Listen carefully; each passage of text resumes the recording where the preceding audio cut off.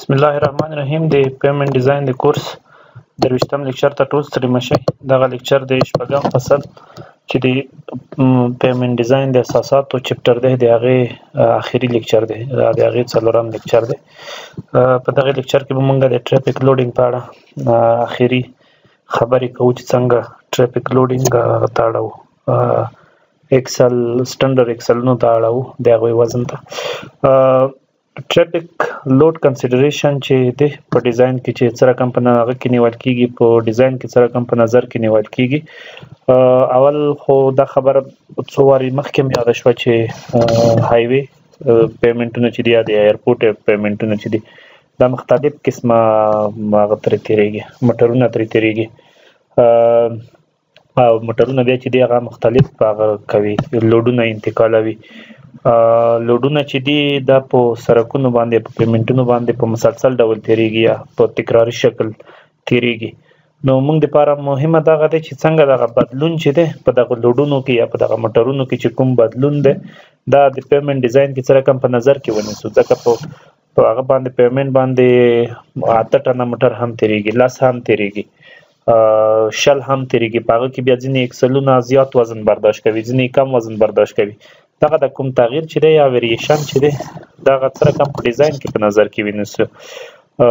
کوم موټر په نظر کې ونیسو مثلا یا څومره تکرار په نظر کې ونیسو د موټرونو یا د اکسلونو په هغه کې په پیمنټ ډیزاین کې چې کوم موټرونه باید څومره ترې تیر شي دا څه رقم په نظر کې ونیسو درې اپروچه یا درې طریقې استعمالیږي یو دا دی چې ترافیک فکسډ شي چې دومره ترافیک ترې تیریږي یو بل دا دی چې موټر فکس شي چې کوم موټر مونږ تعین کو چې دغه موټر ترې تیریږي او بل دا دی چې ترافیک او موټرونه دواړه هغه شي تغییر وکړي په دغه طریقې کې په اولې طریقې کې چې ټریفیک فیکسډ اپروچ ورته یایي یا چې ټرافیک فکس شي په دې کې هغه غټ موټر چې دی چې تر ټولو زیات وزن لري یا تر ټولو دروند موټر دی دا هغه د موږ لپاره په ډیزاین کې تر ټولو مهم دی هغه د موږ د تشویش نقطه هم هغه د غټ موټر دی په دې کې چې څومره به واره دغه موټر ترې تیر شي هغه نه هغه په نظر کې نه نیول کیږي موږ ته صرف غټ موټر هغه مهم دی د دوی ریپټیشن نه دی مهم د دغه غټ موټرونو چې کوم د ول ویل وزن دی یا سنگل ویل لوډ دی هغه اصلي موږ په ډیزاین کې په نظر کې نیسو هغه د غټ موټر او بیا دغه نور هغه چې دي ویلونه چې دي چې د هغه درانده موټر دی یو ویل نه کم وي یا یو ویل نه کم وي هغه د یو فکتور په واسطه چې ایکویولنت سنگل ویل لوډ ورته یي یا ای اس ډبلیو ورته وایي د دغه فکتور په واسطه یې مونږ بیرته دغه هغه ته اړوو سنگل ویل لوډ ته اړوو دغه د ایرپورټ په پیمنټونو کې په نظر کې نیول کیږي دغه طریقه په او یا په هغو ځایونو کې چې د ترافیکو حجم هغه وي کم وي په هغو سره سرکونو کې په نظر کې نیول کیږي مګر هغه نه د زیاته مشهوره طریقه نه ده اوس او ډیره نه استعمالیږي اوس چې ډیره طریقه استعمالیږي هغه د فکسډ وهیکل اپروچ ده په فکسډ وهیکل اپروچ کې مونږ د نمبر ریپټیشن یا چې څومره تعداد اکسلونه یا څومره تعداد سټنډر موټرونه دی هغه نه تیریږي سرک نه تیریږي موږ لپاره هغه مهم دی په دغه طریقې کې 13 کیلو نیوټن 80 کیلو نیوټن وبخای یا 18000 18000 پاوند یا 8100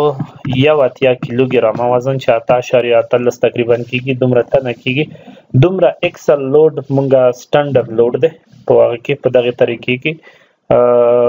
دغه په نظر کې نیول کیږي د اتیاو کیلو نیوټن نه پورته وزن یا د اتیاو کیلو نیوټن نه ښکته وزن دغه د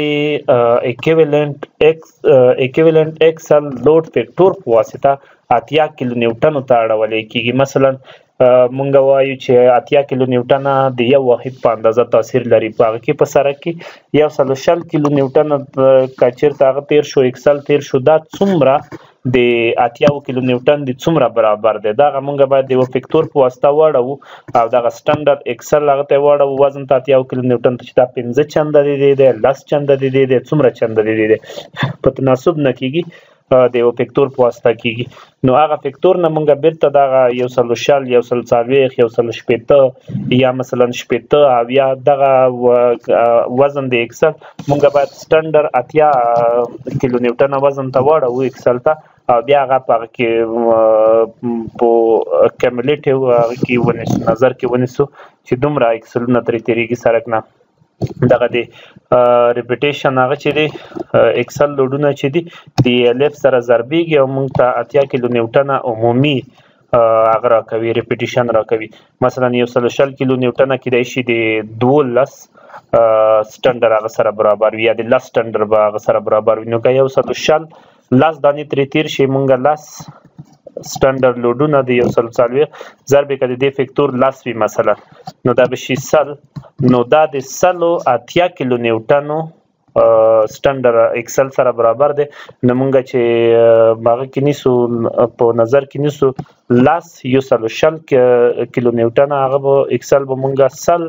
اتیا کیلو نیوټن اکسل حسابو نو په دغه اساس ټول هغه چې دی ټول اکسلونه چې دی هغه وړي د دغه ټول هغه چې دی مجموعي چې دی سټنډرډ اکسل ته وړي او بیا د سرک په ټول عمر کې چې څومره ترې هغه کېږي ترې استفاده کیږي هغه ټول په میلیونونو وی په لکاو وی چې پار څومره شو هغه د دې په عمر پسې اړه لري هغه ټول شمار شمار مونږ په هغه کې نیسو په نظر کې نیسو هغه پارامتر مونږ په ډیزاین کې استعمالوي دا اپروچ چې دا ډیر هغه دی ډیر په پراخه کچه په نړۍ کې استعمالیږي هم دغه دی سټنډر ایکسل هغه چې دی او اپروچ چې دی ویریبل ویکل انټرپیک یا متغیر د موټرونو تغییر یا د ترافیکو تغییر کوم هغه د میتود چې دی په دې کې بیا د لوډ ریپټیشن او یا انډیویډوال لوډ نشته په دې کې هغه دی په ډیزاین کې هر رقم هغه چې دی موټر چې ترې تیریږي یا رقم وزن چې تیریږي مونږ هغه ځانګړی ځانګړی ټول په نظر کې نیسي په دې کې بیا نو ایکویولنت سنگل ویل لوډ هم نشته ایکویولنت سنگل ایکسل لوډ هم نشته دغه دواړه په مونږ په هغه کې نه نیسو په نظر کې نه نیسو په دې کې هر کوم موټر چې څومره وزن انتقالوي هغه ټول مونږ کوو جمع کوو هغه په نظر کې نیسو ایکویولنت سنگل ویل لوډ دی چې شي ایکویولنت هغه هغه دی ایکویولنت سنگل ویل لوډ یا متعادل دی د یو پایې یا د یو ټایر متعادل وزن دی دغه د یو ټایر په واسطه غا انتقالیدونکو وزن دی چې مونږه کچرته کوم پارامترونه کوم پارامترونه چیرته په سرک باندې هغه کو مشخص کو چې دغه ایکویلنت سنگل ویل لوډ د د وجنه کوم سټریس کا پیدا کیږي یا سټرین پیدا کیږي یا ډیپلیکشن پیدا کیږي یا ډیسټریس کوم پیدا کیږي دغه دیو بل لوډ چې هغه مغوي هغه دغه وزن نه متغیر وي د ده په واسطه ان سټرس یا سټرین یا ډیپلیشن یا ډیسټرس چې پیدا کیږي چې د دغه یو ټایر دی وجه نه څومره پیدا کیږي هغه دغه د د بل لوډ نم پیدا شي هغه هغه ته وزن ته مونږه ایکویلنت سنگل ویل لوډ وایو مثلا که مونږ ووایو چې د دغه و د دغه یو ټایر نه یا د دغه یو ټایر د وزن د اثر په یو اندازه سټریس پیدا کیږي په یو اندازه سټریس پیدا کیږي په دغه ایکویولنت سنگل ویل لوډ په پیدا کولو کې د پیمنت سیستم باید بدل نشي او لوکیشن هم باید بدل نشي مواد هم باید بدل نشي یعنی عین پیمنت چې مونږ د یو ټایر وزن ور باندې پیدا کوو د نورو ټایرونو وزن هم چې ور باندې پیدا کوو چې هغه موږ اکویلنټ سنگل ویل لوډ ته اړو دغه لاندې سټرکچر د سرک ورته هغه نشي بدل نشي ځکه که مواد په بدل شول د موادو خصوصیات که بدل شول نو بیا لوډ هغه نه لري رول نه ور باندې لري موږ لوډ صرف تغیروو لاندې شیان ورته ثابت نیسو او ګورو چې مثلا د یو ټایر د وجنه چې څومره سټرن پیدا کیږي هغه د دوه ټایرونو د وجنه په څومره اندازه پیدا کیږي یا د درو نه په څومره اندازه پیدا کیږي یا د څلورو نه په څومره اندازه پیدا کیږي نو که چېرته د یوه ټیر د وجې نه څومره هغه راتلو په دغه پرامترونو کې کوم پرامتر ورته فکس کو د سټریس سټرین ډیپلیکشن یا ډیسټریس هغه بیا د دغه دوو د وجې نه چک کو چې دغه ته څومره پیدا کېږي که هغه مساوات هم پیدا کړل د دغه او د دغه مساوات هم پیدا کړل دا دا معنا چې د دوی اک د دوی لوډونه لوډونه چې دي دا ایکویولنت سنگل ویل لوډ دی یعنی د یوه نه سره د دوو د سره که چېرته مساوي شول همدغه رقم مثلا که د څلورو ټیرونو د وجې نه پیدا کوو نو هغه د یو سره کچرته مساوي شو په کومه هغه کې په کومه نقطې کې نو په یو چې هغه بیا د ایکویولنت سنگل ویل لوډ دی د ایکویولنت سنگل ویل لوډ لپاره چې نور کوم پارامترونه فکس کیږي چې مونږه باید چک کو د ایکویولنت سنگل ویل لوډ د پیدا کولو لپاره مونږه عمودي سټریس هم هغه کولای شو پیدا کولای شو چې دغه وجنه چې کو عمودي ډیپلیکشن یا کنستان هم یا کګیدن هم هغه کولای شو پیدا کولای شو ټینشل سټرین هم پیدا کولای شو کنټک پریشر هم چک کولای شو او کنټک ریډیس هم هغه کولای شو چک کولای شو دغه پارامترونه چې دي د پارامترونه دا هم تیوریټیکلی په کالکولیشن غنه د محاسبه په شکل هم پیدا کولای شو او ایکسپریمنټل هم د هغه کې پیدا کولای شو په ساحه کې چې د تجربې د اساسه پیدا کو او دغه رقم تیوریټیکل هم پیدا کولای شو ایکویولنت سنګل ویل لوډ د ورټیکل سټریس د اثر کومګه وغواړو چې ایکویولنت سنګل ویل لوډ پیدا کو د عمودي تشنجاتو د کنسپټ د اثر نو مونږه د هغه نه پیدا کوو د سنگل لیر سیستم نه یا د یو لیر یعنی داسې فرض کوو چې سرک ټول هغه چې دی مواد چې دی هغه هغه دی یو رقم خصوصیات لرو دغه ون لیر تیوري دغه ته وایي چې ټول مواد مونږ په سره کې و طبقه فرض کوو او د دوی بیا سټریس ډیسټریبیوشن ګورو د دغه تشریح نه مخکې زه باید دغه شکل وګورم په دغه شکل کې مونږ داسې کوو چې په هغه نیسو ډبل ویل ویل هغه نیسو یعنی دا معنی چې دوه ټایرونه چې څنګ په څنګ وي لکه دا اکسل شو دوه ټایرونه یوې خواته وي او دوه ټایرونه بلې خواته وي نو په دغه باندې زه د دوه دوه ټایرونو باندې زه ګورم چې ایکویلنت سنگل ویل لوډ څنګه پیدا کوم په دغه باندې کو ګورم چې ټوټل وزن 2 پی مثلا راشي او اری و ټایر ته د پی په اندازه وزن لاړ شي پی اندازه وزن دغه ته پی اندازه وزن دغه ته او د دې شوا 2 ای وی یعنی یو خواته شوا ای بل خواته شوا ای د دوی ترمنځ فاصله کډی وي او د ټایر د ټایرونو د سنټر ټو سنټر فاصله اس وي تر ډی پر دوا پورې تر ډی پر دوا پورې هغه لاندې عمودي لاندې د دې سټریسونه چې دي د دې سټریسونه دغه اورلپ نه کوي یعنی د یو ټیر د وجنه سټریسونه د بل ټیر د وجنه په دغه ساحه کې اورلپ نه کوي او دواړه په جداګانه شکل دغه کوي عمل کوي او په دغه ځایونو کې چې کوم سټریس پیدا کیږي هغه به د خپل چې په ټایر باندې کوم وزن راغلی دی پی دغه سره مساوي وي بیا دې دوه اس ته چې کله رسیږي لاندې تر دوه اس پورې رسیږي د دې اوورلپ د دې اوورلپ په هغه اندازې کیږي چې دواړه په یو بل کې په مکمل اندازه د دغه وزن او د دغه وزن د سره چې کوم سټریسونه پیدا کیږي دواړه په مکمل شکل هغه کیږي اوورلپ کیږي او دغه اوورلپ چې دلته به ایکویولنت سنگل وی لوډ ایکویولنت سنگل وی لوډ به د دوه پی سره مساوي شي ځکه چې دغلته دواړه په مکمله توګه یو بل سره اورلپ شول مګر د دې په مابین کې کچیرته مونږ اوس د سر نه تر زیډ یا اچ پورې ارتفاع باندې پیدا کوو مونږ بیا کولای شو چې هغه ایکویولنت سنگل ویل لوډ د دغه فارمول نه هغه کو پیدا کو چې دغلته دغه فرمول دلته ما شوی دی لیکل شوی دی چې لاګ د ایکویولنت سنگل ویل لوډ مساوي کیږي لاګ لاس په توان دی پی جمع صفر اشاریه درې لاګ لس په توان دی زیډ پر ډي پر دوه پر لاګ لس په توان دی دوه اس پر ډي پر دوه ډي پر دوه دغه فاصله وه د هغه د دغه تر دغه پورې ډي پر دوه فاصله دی او د ټایرونو ترمنځ فاصله دی ډي چې دی یعنی د ټایرونو ترمنځ نیمایي پورې دغه فاصله دی دا چې هر څو وي او اس چې دی سنټر ټو سنټر فاصله دی او نور پارامترونه پکې معلوم دي نو دغه سلاید مې چې تشریح نه کو هغه ته صرف هم دغه لیکل شوی و چې د ډي پر دوا پورې سټریسونه چې دي هغه اورلپ کیږي نه او ایکویلنت سنگل ویل لوډ دی هغه وزن دی سره چې کوم په یو ټیر باندې پی ډی یا پی وزن چې کوم راځي دغه برابر دی دلته پی ډی لیکل شوی هغه ته شکل کې پی وو د دوا اس ته چې کله رسیږي دا په مکمل ډول اورلپ کوي او بیا سنگل ایکویولنت سنگل ویلور د سره سټریسونه چې دی هغه د دوا پی وزن د سره پیدا کیږي او د دوی ترمنځ د رابطه چې دا لینیر دی یعنی کدی دوی ترمنځ د ګراف څوک ګوري چې په پی کې چې څومره سټریسونه پیدا کیږي او بیا په دوا پی کې چې څومره سټریسونه پیدا کیږي هغه دومره وي نو د دوی ترمنځ که موږ په زیډ ارتفاع کې وګورو دغه د دوی رابطه چې ده دا لینیر دی یا خطي رابطه ده په ګرافي شکل هم پیدا کولی شو که دلته وګورو دغه رابطه یعنې د زیډ پر دوه کې کچیرته د پی ډی په عمره ایکسل ایکویولنت سنگل ویل لوډ شي او د زد مساوي کیږي 2 اس په ژوروالي کې هغه د 2 پی ډی د سره پیدا شي نو موږ د زد په ژوروالي کې ډایرک کولای شو چې د پی په اندازه ایکویولنت سنگل ویل لوډ دغه ګراف نم پیدا کو مثلا که څوک وایي چې د په یو ټایر باندې شل کیلو نیوټن وزن راځي او د دې شعاع چې ده هغه د سل ده او د دې ټایرونو د سنټر تر سنټر ترمنځ فاصله درې سوه ده د دوی په دوه سوه ملي متر ژوروالي کې دوه سوه ملي متر ژوروالي کې به هغه څومره وي اکویلنټ سنګل ویل لوډ څومره وي ګوره که ورته هغه شو متوجه شو په ډي پر دوا کې به ډي پر دوا کې بس سنگل ویل لوډ څومره وي ډي څومره دی ډي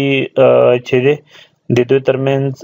ډي د یو ټایر د بل ټایر ترمنځ فاصله ده دغه چې نیم ټایر سل دی نو دغه تم سل ترمن پشي دغه تم هم سل ترمن پشي نو ډي به سل پاتې شي مونږ ته نو ډي چې په دوه تقسیم کو 50 بشي نو په د 500 پورې ایکویلنت سنگل ویل لوډ چې ده هغه ماغه دی هغه برابر دی د پی برابر دی یعنی د شلو برابر دی نو په هغه کې په 50 کې به ایکویلنت سنگل وی لوډ شل شي او کله چې فاصله 2 اس شي اس څومره دی 300 دی نو 2 اس به 600 شي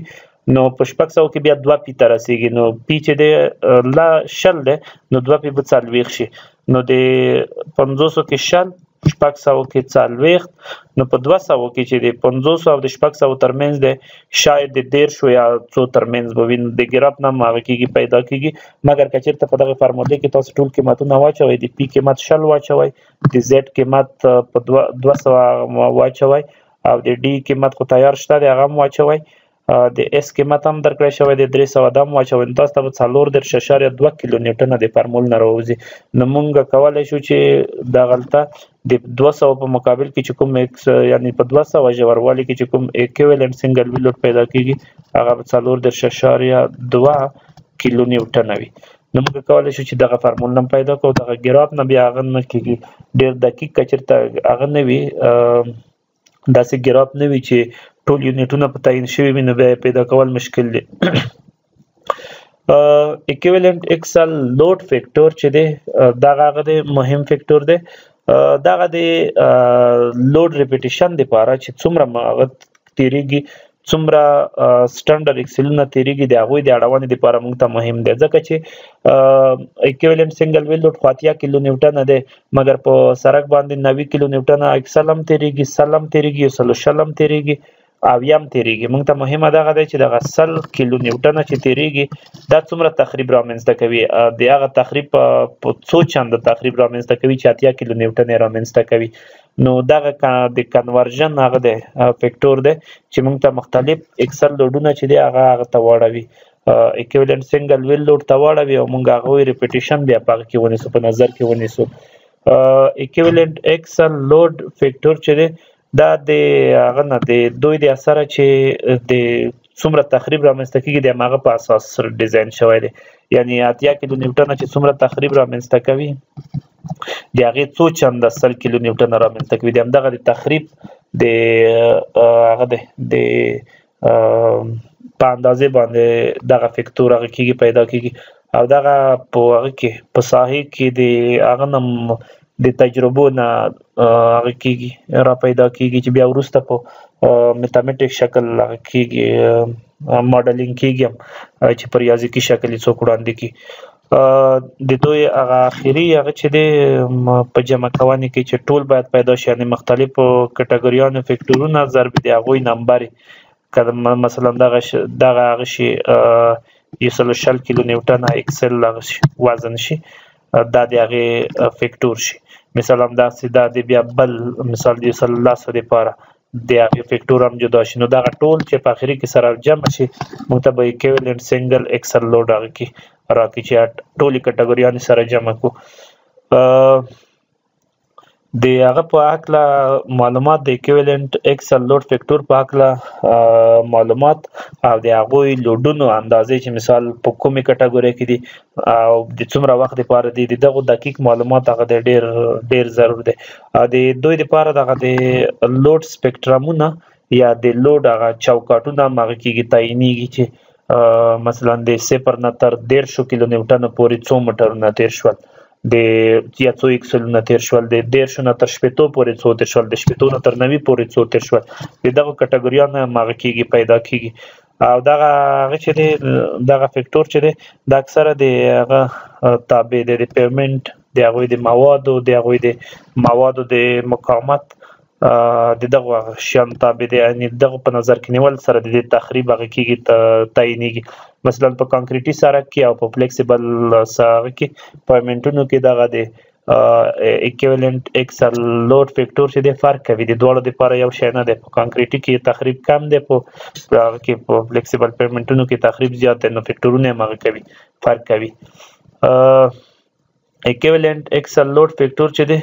دا د فیلډ ابزرویشن په واسطه اکثر هغه کیږي پیدا کیږي مختلفو هغه د پاره اکسلونو لډونو د پاره چې په پیمنټ باندې زی د هغه پرفارمنس لیدل کیږي او د هغه نه راخستل کیږي د اشو ټیسټ د واشو یا د اشو د اشتو غوندې کنه دوی هم هغه کوي ټیسټونه اجرا کړي دي د دوی فکټورونه شته دي اکثره خلک هم هغه استعمالوي اشو چې دی د دوی د ټیسټ نه چې کوم هغه ایکویولنت سنگل ایکسل لوډ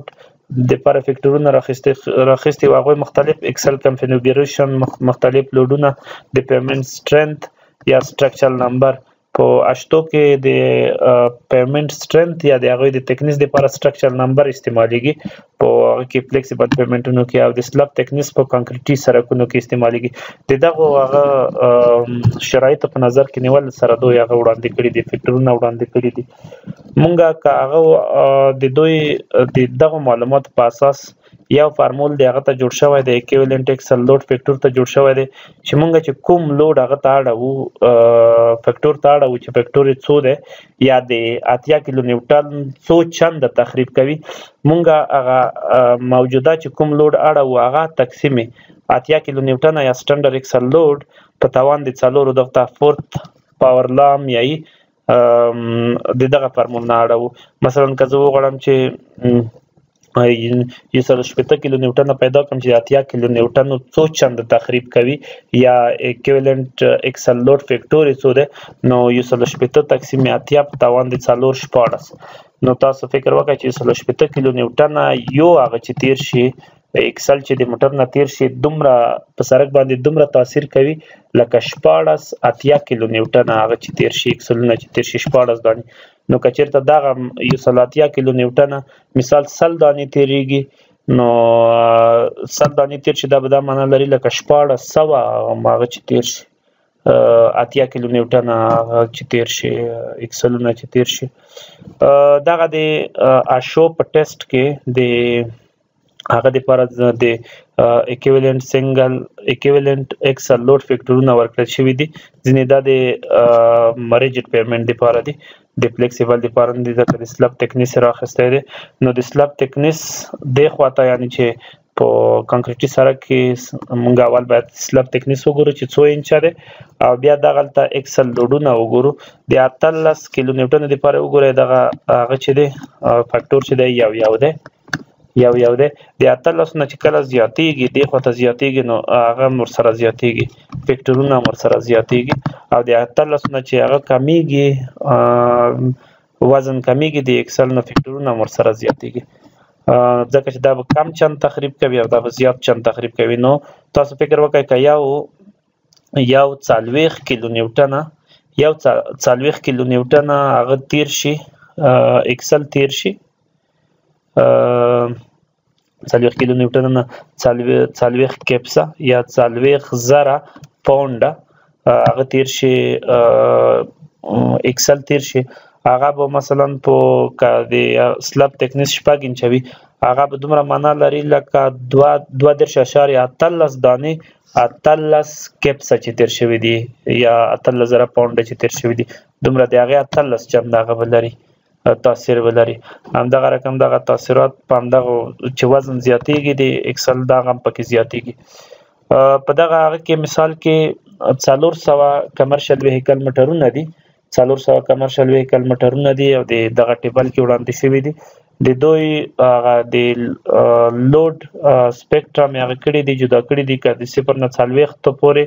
50 ایکسل تیر شوی دي د څلوېښتو نه تر اتیاو پورې دوه نیم سوه اکسله تېر شوي دي اتیاو نه تر یو سلو شلو پورې څه څلور سوه اکسله او د دوه سوه نه تر دوه سوه څلوېښت پورې لس اکسله دغه اکسلونه چې ټول سره جمع کړئ دا به هغه اکسله شي دوه نیم سوه دوه نیم سوه د پنځه سوه دا د نهه سوه نهه نیم سوه پنځوس دا دی دا به زر اکسلونه شي نو څلور نیم سوه مټر چې دي د زرو اکسلونه برابر دي یعنې په یو مټر کې به کېدای شي دوه وي په یو کې به درې وي نو دغه رقم هغه دي اکسلونه دي د دوی میډ پوینټ که پیدا کو د دوی لپاره نو د دوی د منځ نقطه د 0 او 40 شل ده د 40 او 80 او شپته ده نو دغه رقم بر دوی منځ نقطه ورته پیدا کوي او د دوی ایکویولنت ایکسل لوډ فیکټور چې پیدا کوي نو دغه وزن شل تقسیم اتیا په توان د څلور پورت پاور لاند وی پیدا کړئ دا به تقریبا همدغه هغه درکړي ځواب درکړي صفر اعشاریه صفر شپږ سوه پنځه ویشت د لوډ فیکټور نو موږ چې پنځوس دانې تېر شوي دي نو پنځوس ضرب صفر اعشاریه صفر شپږ سوه پنځه ویشت چې کې ضرب کړئ نو د درې اعشاریه درې اعشاریه دیارلس اکیویلنټ سنګل اکسل لوډ برابر هغه به شي اکسلونه بشي نو دغه اکسلونه که د ار هغه د لپاره پیدا کړئ سپیکټرم د لپاره پیدا کړئ دا چې ټول سره جمع کړئ دا دا دا چې ټول سره جمع کړئ دا به تقریبا 15000 تقریبا 15000 سټانډر اکسلونه شي سټانډر اکویولنت سټانډر اکسل لوډونه شي نو تاسو فکر وکړئ چې څلور نیم سوه کمرشل ویهکلونه د زر اکسلونو برابر دي او زر اکسلونه یا څلور نیم سوه کمرشل ویهکلونه د پنځه زره اکویلنټ سټنډر لوډونو اکسل لوډونو برابر دي نو موږ کولی شو چې دغه رقم موټرونه یا نور اکسلونه د